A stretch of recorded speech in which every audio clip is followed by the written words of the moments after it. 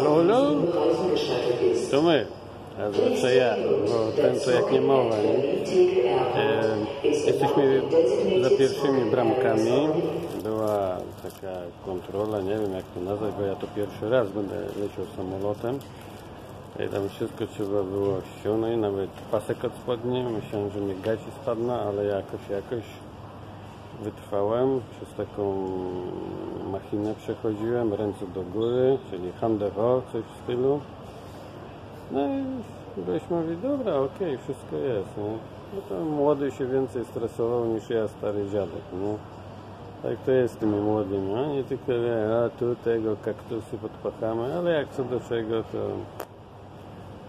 miękka dupka, nie? Jak to się mówi. No dobra, ale już jesteśmy za teraz co? Teraz tutaj i na samolot, tylko że tu będą jeszcze bagaże nam ważyć, mierzyć. No może nie. Może nie? No to zobaczymy.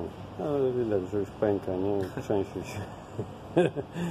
Do następnego. Teraz to nie wiem. Może już jak wylądujemy do tego, to się odezwiemy. No, to dzięki za uwagę. Nara.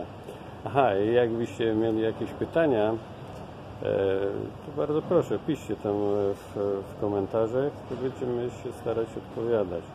Ile co kosztuje, jak długo lecieliśmy, czy trzęsło, czy nie trzęsło, czy siedzieliśmy razem, czy osobno.